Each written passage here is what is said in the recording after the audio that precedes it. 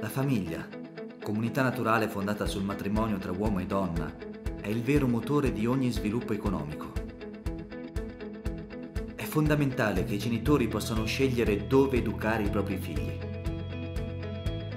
A questo è servito il ripristino dei fondi alle scuole paritarie, che permettono allo Stato di risparmiare oltre 6 miliardi di euro l'anno.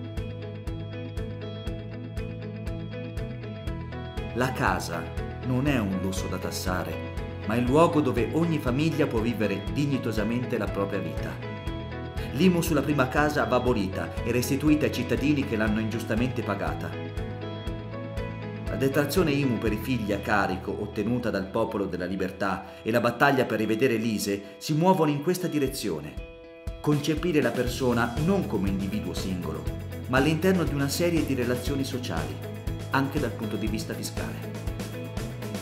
Quanti di voi nei dibattiti televisivi hanno sentito noi politici parlare della famiglia e della sua importanza? Non basta parlarne, bisogna metterla al centro, bisogna crederci, credere che la famiglia sia il pilastro fondamentale della nostra società.